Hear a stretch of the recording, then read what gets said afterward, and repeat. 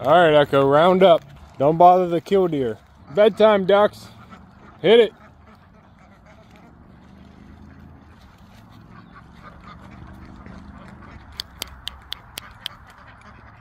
Oh, it gets darker when I zoom. Hold on. Oh, no.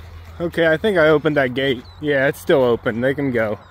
They missed the open gate, but they can go around. I left the other one open. We can shut the duck gate.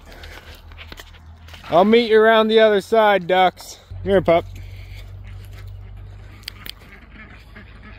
There they go. All right, everybody head on in. Mumbles is already in there. Duke Silver taking his half in. Hey, Jackie. We have Mumbles with half the flock and Duke Silver watching over the other half. All right, good night, ducks. See you in the morning, Mumbles. So glad to have you back with the flock. Rapaz,